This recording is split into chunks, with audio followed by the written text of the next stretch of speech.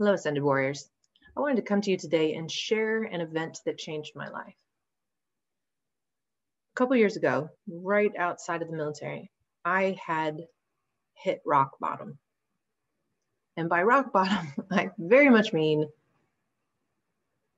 tears and snot running down my face, having a straight up panic attack in my old ass car sitting outside of the doctor's office in the middle of the day. Cannot breathe, cannot think, just internally screaming that life was not worth it. Now, what led me to that point was a culmination of a lot of wonderful things, as it usually is.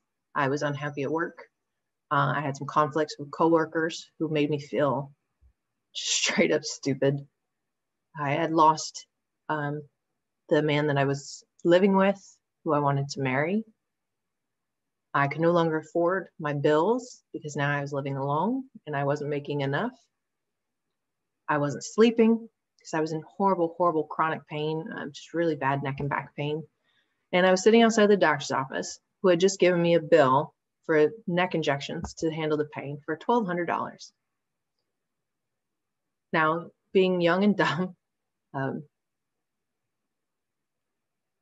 I, I guess I didn't ask how much they were up front, regardless.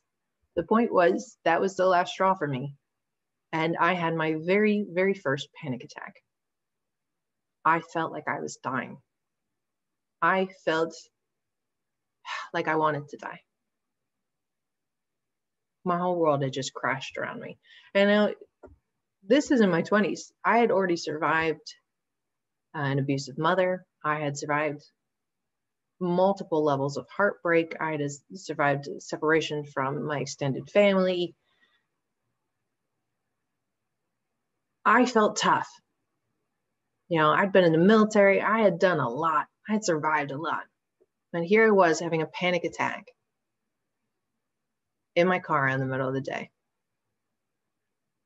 So once I finally caught my breath enough that I could make a phone call, I called my father he was my lifeline in that situation. Now, I'm not one to call people for help. I'm not one to ask for help. I'm definitely not one to tell somebody when I'm hurting. I, I that's a measure of how scared I was that I reached out and called him. And I just broke down and I told him everything that was going on. And I told him, I feel completely overwhelmed. I don't know where to go. And he gave me life saving advice, which seems so common sense when you're not drowning in stress. He told me to get away, get away for a weekend, go somewhere, go somewhere else, get away from my house, get away from work, get out of my head, and focus on something that I had pretty much ignored for most of my career, which is spirituality, my spirituality. Now, I'd always been a spiritual person, but it was secondary in favor of career, in favor of achieving and doing. And it was never my focus. So I had gone so far off balance with my career that it was my entire world. And I had left me behind. So when he told me I had to get away, he said there's this group, this spiritual group that he used to be a part of down in Virginia Beach called uh, Advanced Research and Enlightenment, ARE, Edgar Cayce's group. And he had gone to this group in the 70s. He said, look, they have spiritual retreats every once in a while. See if they're hosting one. And if they are, I will help you pay for it. Just get out. Get out of your head because you are Nothing was looking up at that point. I did not see a way out of my current mess. So, as synchronistically beautiful as a, the universe can be, there was a retreat in the Blue Ridge Mountains coming up that weekend. Uh, and it was definitely something I could not afford. Um, I hadn't asked for time off, but I felt, I felt the truth in his words that I needed to get away. So I signed up. I signed up. I drove seven and a half hours in my beat up car from the DC area down to the Blue Ridge Mountains. I had no idea what the retreat was going to be. I didn't know the woman who was hosting it. Um, I didn't know a single other person there. I had no idea what I was getting into. I was not a part of this group. I had never attended any kind of spiritual conference or retreat at this point. I felt that it was calling to me. And I took a leap of faith and said, you know what? I'm doing it.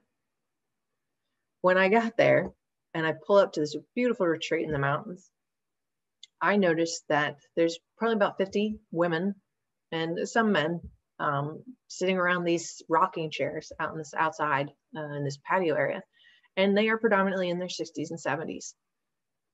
Uh, there was maybe three of us that were under the age of 40. And I remember thinking to myself, I was like, what the hell have I gotten myself into? I'm sharing a room with a woman I don't know. Um, I don't know anybody here. And my natural inclination is to separate myself but I didn't let myself. I said, look, I'm here. I need to get out of my head, just grab a damn rocking chair and see what happens. This was the first time I was exposed to regression. This is the first time I was exposed to ascended warrior or ascended um, masters, crystals. And the very first class, when we all came together for our very first class under Judith Pendleton, who's the hostess of this retreat, she took us on a guided meditation to see where we were broken, to see where we were hurt. And I remember this, I remember this meditation like it's a movie that plays in my mind. I scanned my body to see where I was hurting, and I saw my heart, and my heart was ripped into two separate pieces, just jagged, jagged pieces. And she said, All right, now that you've visualized this part, envision yourself sewing up the body part or the pain with a thread of gold, golden light. So I sewed my heart, my two pieces of heart, back into one, and then did a blessing over the entire thing, calling in healing energy. And it was so vivid and so real and so physical. Like I could feel that broken heart that had been broken for a decade, more than a decade at that point. And I remember just breaking. I broke open in that first meditation, and I did not stop crying for four days. I purged every scar, every every bad experience. My soul purged for four days. For four days, I was not Chris the soldier. I was not a child of abuse. I was not a disliked coworker. I was not a lone woman. I was not in debt. I was divine. And the people at this retreat saw me. They heard me. I got up and spoke in front of the group, sharing the experiences I had during these meditations, which in my normal life I never would have done to be that vulnerable to a group of people. Never. They saw me. I cannot describe what it was like to be seen for the first time in my entire life. So for four days, I transformed. That was my awakening. That was my awakening experience, was at this retreat. That experience led me to do many other conferences and many other retreats and started me on the path to where I am now as a teacher. Without that experience, hell, I don't know what I would have done. If I hadn't taken that leap of faith, I can't imagine where I would be right now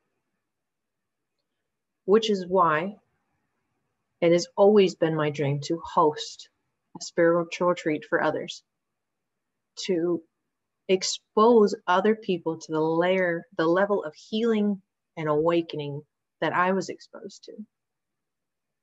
So, with the muses, we have created Shift. And the word shift is exactly what the retreat is. shift your mind, get out of the world, get out of the crazy, get out of your troubles, shift your heart, open your heart, start feeling and thinking through here versus here, and shift your soul. Open yourself up to the divine you and find out what is possible when you wake up, when you embrace all that you are. This is retreat for the next generation of spiritual leaders. And that goes for us as well.